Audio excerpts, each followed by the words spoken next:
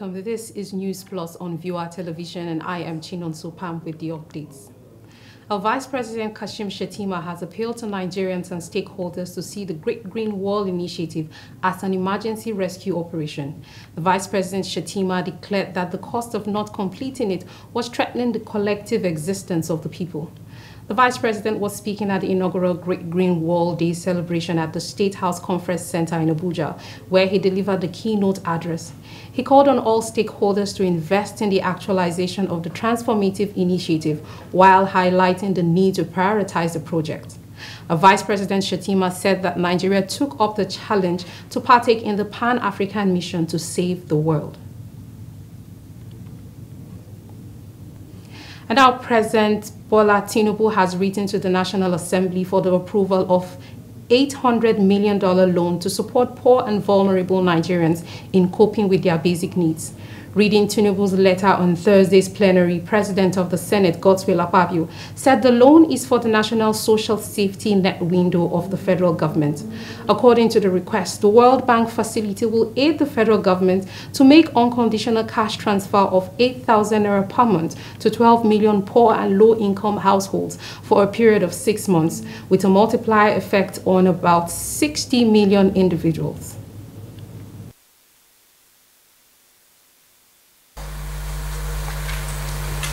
Request for approval of additional financing of the National Social Safety Net Program. Approved an additional loan facility to the tune of USD no, 800 million to be secured from the World Bank for the National Social Safety Net Program.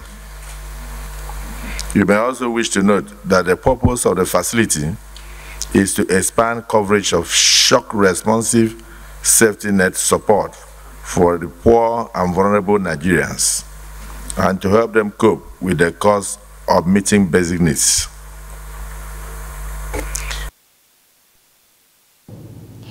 And it is expected that the program will stimulate economic activities in the informal sector and improve nutrition for beneficial households. You recall that the Federal Executive Council led by President Muhammadu Buhari had in May this year approved an additional loan facility to the tune of $800 million to be secured from the World Bank for the National Social Safety Net program. And the president of the Nigerian Senate, Godswill Akpabio, has assured the Turkish government of Nigeria's readiness to sustain the bilateral agreement reached between both countries in the area of education, health, and military collaboration to fight terrorism and insecurity. He also promised that the Senate will do everything humanly possible to ensure that the age-long bilateral relations and collaboration in critical sectors continue in the overall interests of the Nigeria and Turkey. Akpabio stated this while receiving the Turkish ambassador to Nigeria, Hidayet Bayraktar, who visited him in his office. Earlier, the Turkish ambassador congratulated Akpabio on his emergence as president of the 10th Senate, assuring the Senate leadership of improved bilateral relations between Nigeria and Turkey. And the House of Representatives has approved the request of President Bola Tinubu for an amendment to the 2022 Appropriation Act. The approval followed Tinubu's request for 500 billion naira for palliatives to Nigerians in order to reduce the hardship caused by subsidy removal. The amendment passed the first, second, and the third reading during plenary on Wednesday. However, the House on Thursday approved the President's request after members of the House made contributions.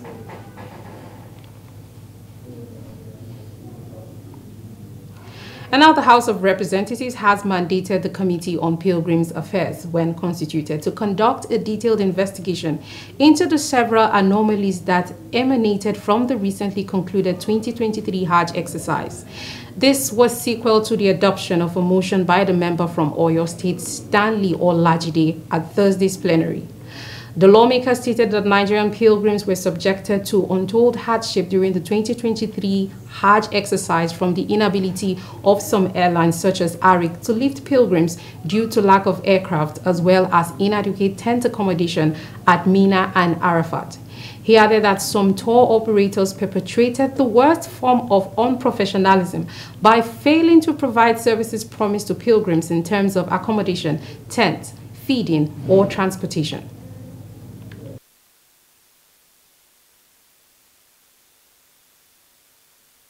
Further note that the VIP pilgrims were made to pay 5,000 US dollars, 8,000 riyals, for 18,000 riyals for VIP tents. And despite this exorbitant amount, Mr. Speaker, pilgrims were stranded while others got tents of lesser value that they paid for.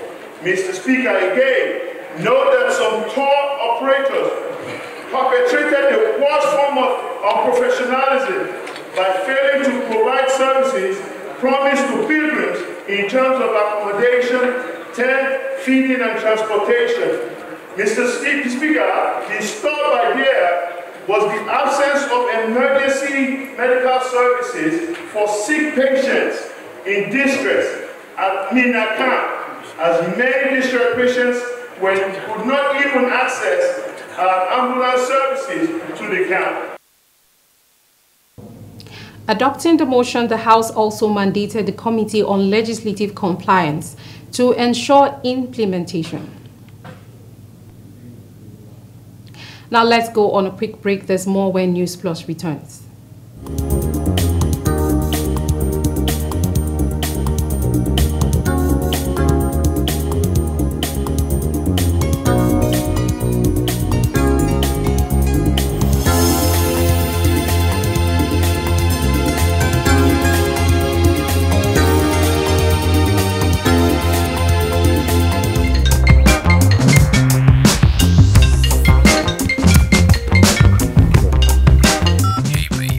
Morning, gentlemen.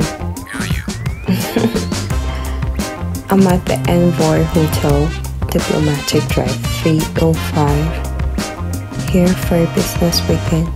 It's been an amazing stay. Conference hall and business facilities here are stylish and innovative. The Envoy Hotel is luxury esoteric opulence for ultimate comfort.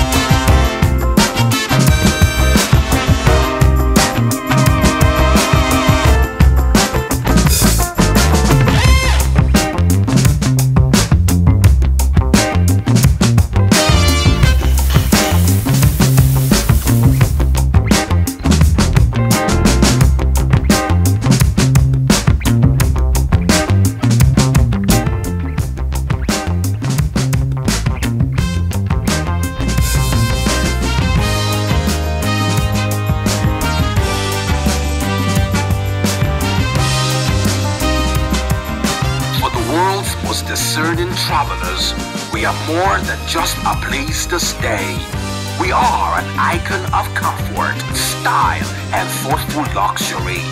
We are Envoy Hotel. In this 21st century where all the information we need is now in the palm of our hands. News from around the world, entertainment, celebrity gossip, sports, and much more.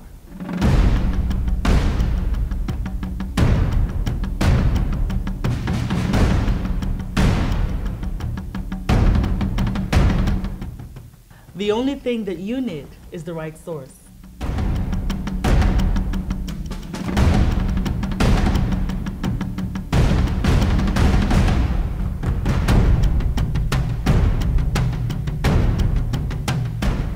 Viewer TV is now on the go. Simply check us out on our social media pages on Facebook, Instagram, YouTube, and Twitter for all the information you need.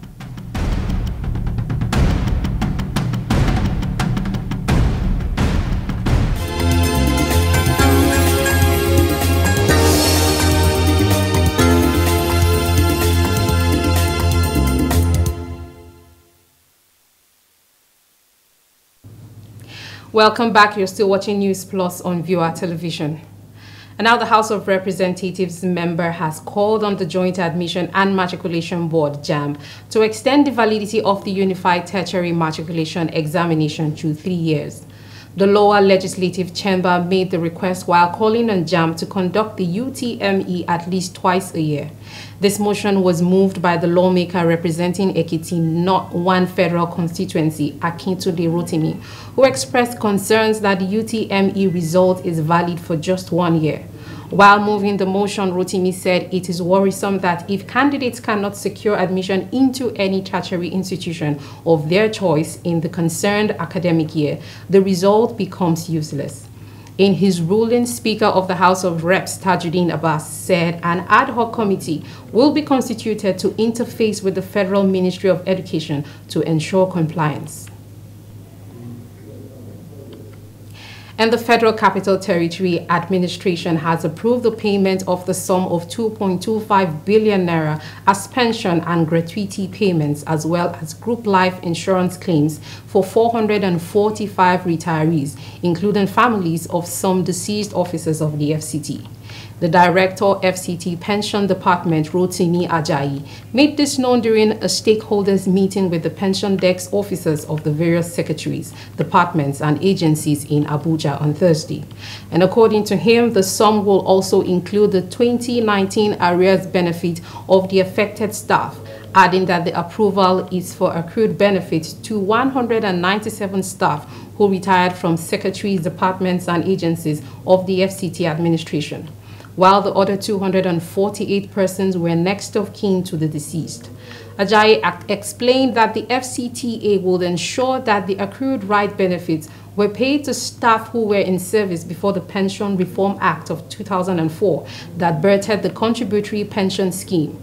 He revealed that the approval was a sequel to the payment into the beneficiary's retirement savings account to access the retirement benefits from their pension fund administrators, adding that the payment also covered for the 2019 arrears based on salary increments.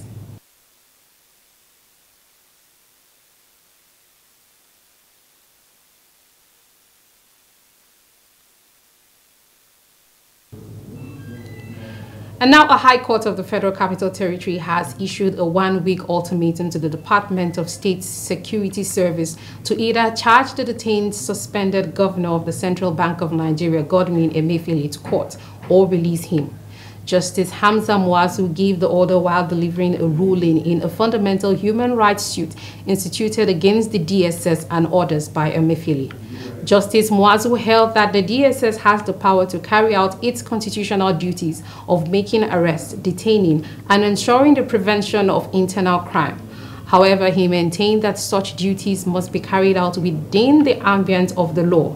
In the suit instituted on his behalf by the senior advocate of Nigeria, Joseph Daudu, the suspended CBN governor had applied that his arrest and detention since June 10th without valid order of court has voided and set aside. And the new theater commander of operations Hadin Kai Major General G.U. Chibuisi has said plans have already been strategized to conclude the fight against terrorism in the northeast region. He disclosed this during a takeover of command from the outgoing theater commander Major General Ibrahim Ali. The former theater commander of operations Hadin Kai says he's happy that over 100,000 Boko Haram and ISWAP terrorists surrendered which indicates that the insecurity crisis is close to an end despite some challenges still needs to be tackled. He added that in his new assignment, he will continue the work of ensuring that peace is completely restored in northeast region of Nigeria.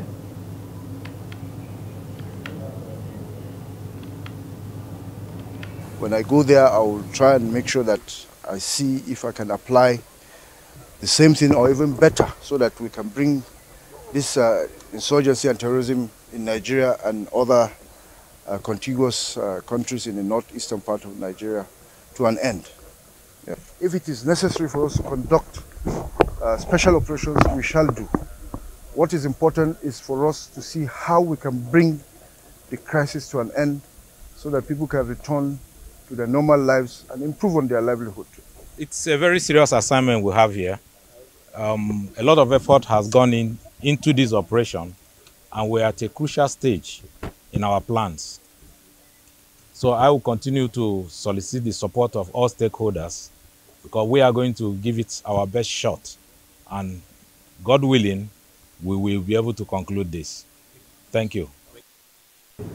And now an update on the IPOB situation. A federal high court in Abuja has dismissed a fundamental rights enforcement suit filed by Nnamdi Kanu, leader of the proscribed indigenous people of Biafra, against the Department of State Services.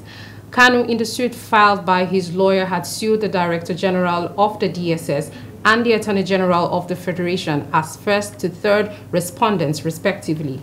He alleged that the security outfit, while allowing other inmates in their custody the freedom to choose and wear any clothes of their choice, was restricted to wearing only a single clothing. But in a counter affidavit filed by the DSS and its DG, they urged the court to dismiss Kanu's claims.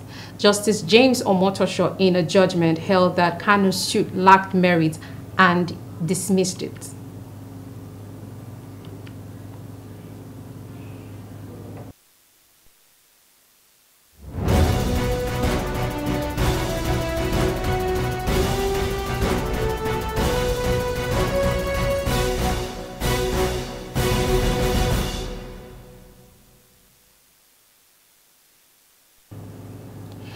And on the international scene, Kenya's Interior Ministry has said more than 300 people, including a lawmaker, had been arrested following violent anti-government protests that led seven people dead. There were deadly clashes and looting on Wednesday in parts of the East African nation as protests took to the streets over tax hikes and economic pressures in defiance of a government ban. Police have been accused of a heavy-handed response and criticized for using tear gas against civilians, including at a school where dozens of children were hospitalized. Opposition leader Raila Odinga, who called the protest, has vowed to keep up the street action until cost of living pressures calm down. The death toll from the unrest rose to seven after a man died in clashes between rival groups in Sondu on the border of Kericho and Kisumu, the later and Odinga stronghold.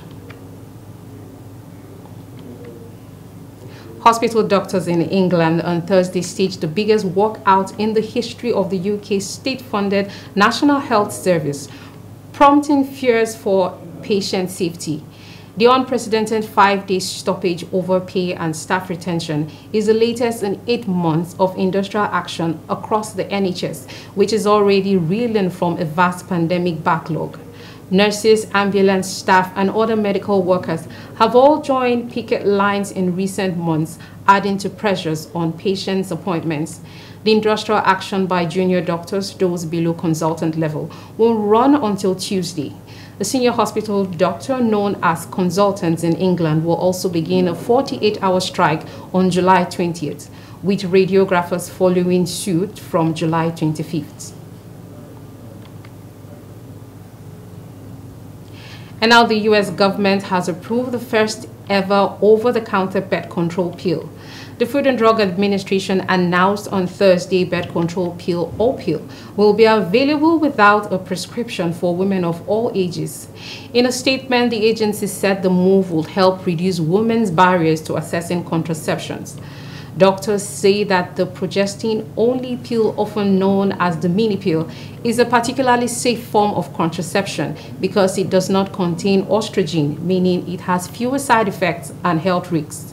The approval comes after an FDA expert advisory panel in May unanimously voted to recommend the pill be available over the counter by 2024.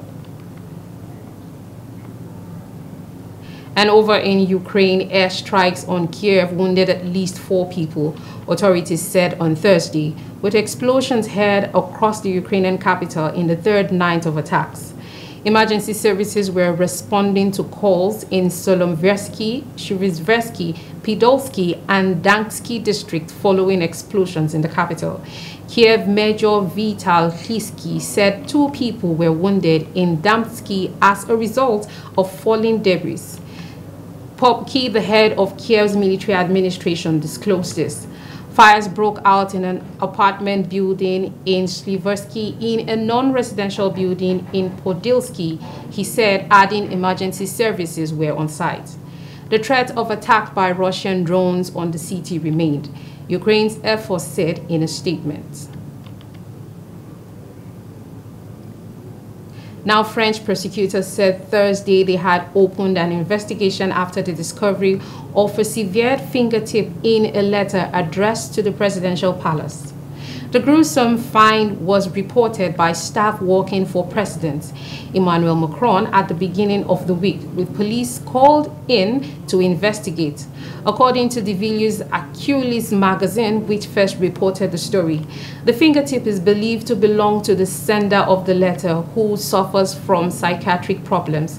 A source close to the investigation disclosed between 1,000 to 1,500 emails and letters are addressed to the Macron each day and they are monitored and scanned by a 70-strong team working from offices away from the main Élysée Palace in central Paris.